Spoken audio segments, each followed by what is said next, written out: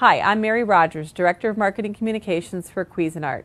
This is the Cuisinart Smart Power Duet Blender Food Processor. This is a great product. You get two products in one. First, it's a 7-speed electronic blender. It has a 40 ounce glass carafe.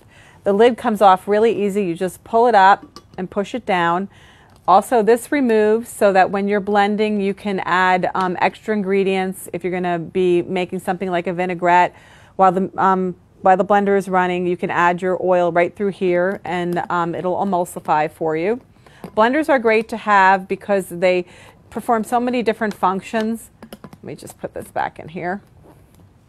Um, this one has lots of great features. Like I said, it's seven speeds. It has a stir function, a chop function, mix, puree, pulse, so it can pulse on any, any speed. It has also called out an ice crush feature and has on and off. The other thing that's great about this is that when you remove the blender, you can put on the um, food processor attachment. This is really great. You can use it to chop nuts. You can use it to um, do herbs. You can use it to make um, salsa.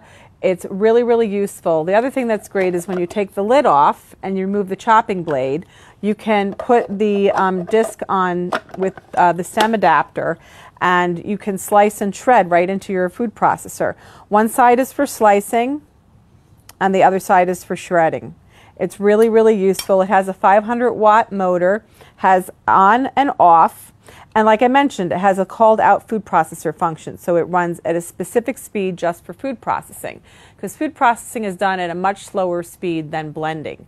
Food processing is done about 1700 RPMs, and when you're blending, this blender runs at about 17,000 RPMs. So it's actually designed to automatically step down to the right speed so you process your food perfectly. And there you have it, the Smart Power Blender by Cuisinart.